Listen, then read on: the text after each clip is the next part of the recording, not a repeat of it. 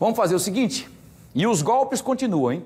Um delegado da Polícia Civil foi vítima de um golpe. Um delegado da Polícia Civil aposentado. E esse golpe veio pela internet. Ele sofreu um prejuízo de quase 10 mil reais. Nem quem é da lei está imune a esse tipo de crime. A repórter Maria Maciel nos traz as informações. Acompanhe. Um delegado aposentado de Alagoas foi mais uma vítima dos golpes pela internet. Os criminosos utilizaram um perfil falso da Caixa Econômica Federal e conseguiram transferir mais de 6 mil reais da conta dele. O delegado Robervaldo Davino, do 6 Distrito Policial, explicou como tudo isso aconteceu. O cidadão, que é delegado aposentado, recebeu um, um zap com o logotipo da Caixa Econômica. E ele foi verificado que ele se tratava. E nesse, nesse logotipo, nesse, nesse, tinha um, uma informação para ele se dirigir a um, a, a um, um, caixa eletrônico da Caixa e fazer de, determinados procedimentos. É assim ele foi. Foi, fez o procedimento, não passou a senha para ninguém e, moral da história, quando foi verificar, tinham levado da conta dele R$ 6.800.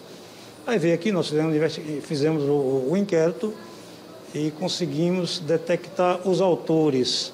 Mas aí, nesse ínter, a Caixa estava vendo a possibilidade de devolver, porque ele não passou é, a senha.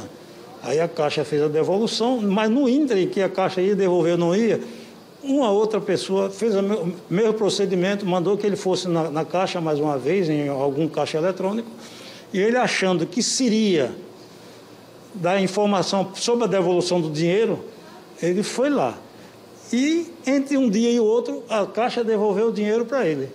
Aí, nesse dia que ele foi, houve um outro saque da conta dele, dessa, dessa, dessa feita foi em torno de R$ 2.800, transferiu para duas contas.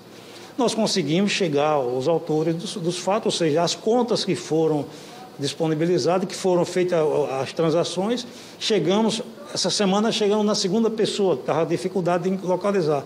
E vamos dar prosseguimento ao inquérito. O delegado fez ainda um alerta para que as pessoas não caiam nesse tipo de golpe. Nós queremos alertar as pessoas que tenham bastante cuidado quando receberem informações de banco através da internet, através do zap.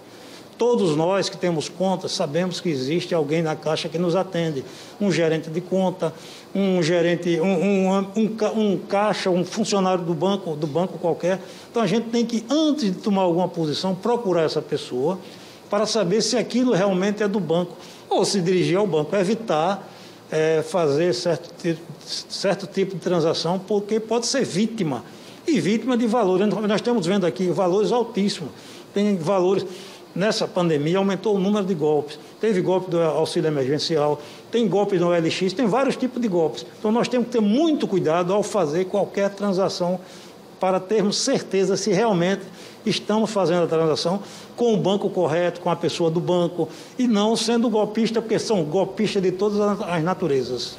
De Cruz das Almas, Maria Maciel.